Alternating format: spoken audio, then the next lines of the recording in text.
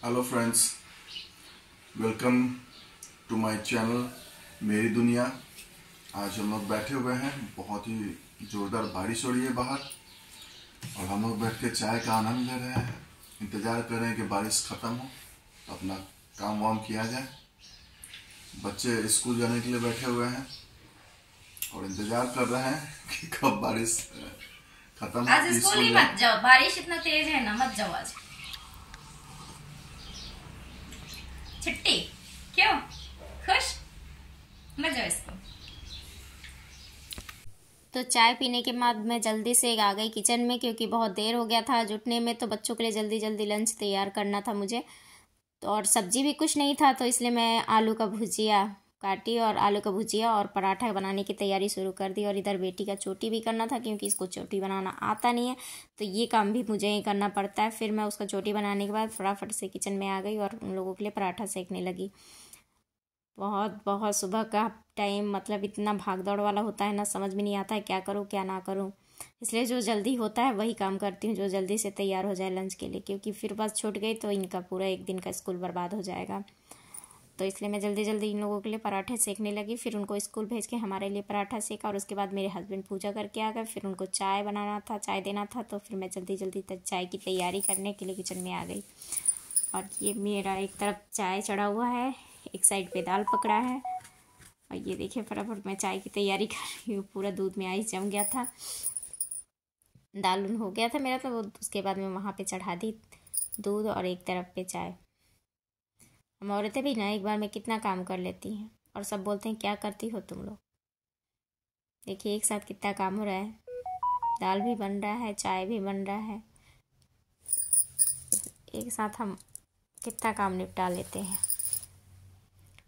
इधर मेरा चाय भी हो रहा है और फिर मैं चाय हो रहा था, तब तक सोची कि मैं दाल फ्राई करने की तैयारी कर लूँ तो मैं फटाफट से लहसुन छिल लगी, क्योंकि आज मैं बनाई थी मिक्स दाल और मैं मिक्स दाल को लहसुन, हरी मिर्च अजवाइन और हींग से फ्राई करती हूँ। आप लोग किस चीज़ से करते हैं? कमेंट करके बताइएगा। क्योंकि ये मिक्स दाल है तो इसमें हींग तो ज़रूर से ही डालिए। एक तो मौसम भी अच्छा नहीं था, बारिश का मौसम था।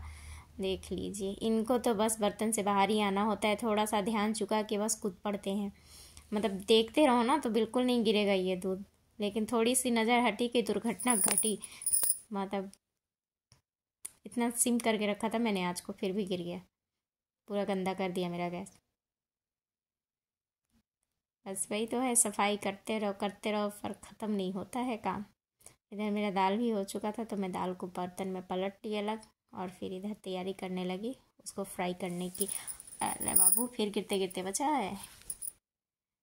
और ये हो गया मेरा गर्मा गर्म अदरक वाला चाय।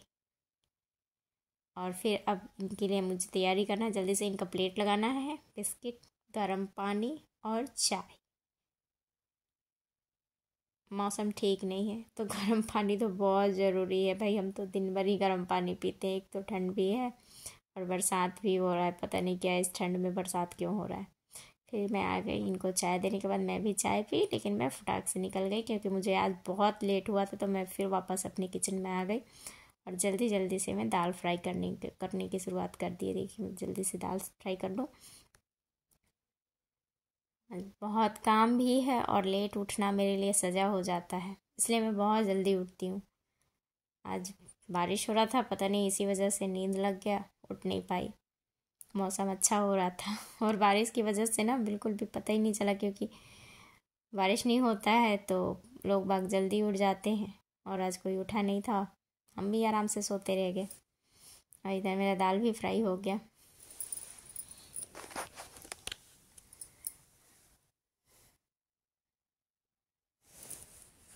साथ में मेरा दूध भी हो रहा है गर्म। कैसा आलस वाला मौसम हो जाता है। फिर मेरे हस्बैंड को खाना था, बैंगन का भरता। तो फिर मैं जल्दी जल्दी बैंगन का भरता बनाने लगी। मेरे पास बैंगन पकाने के लिए कोई दूसरा जाली वाली नहीं है, इसलिए मैं गैस पे ही डायरेक्ट रख कर पका लेती हूँ।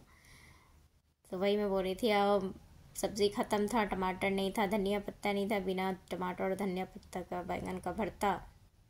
फिर भी अब जो था उसी में मैंने बनाया। क्योंकि टाइम की वजह से, टाइम के भाव में और हमारे यहाँ शहर तो है नहीं कि गली में लेके आ जाते हैं बेचने के लिए तो ले लो। हमें बाज़ार ही जाना होता है, तभी मिलता है। और इधर मैं सारा काम ख़त्म करने के बाद किचन क्लीनिंग करके ये पूरा, और ये है बीन्स ये मेरे लिए है, क्योंकि बीन्स कोई खाता नहीं, मैं खाती हूँ। और इधर मेरे हस्बैंड का नाश्ता, ये अपने काम पे लगे हुए हैं। और पहले खा तो लीजिए।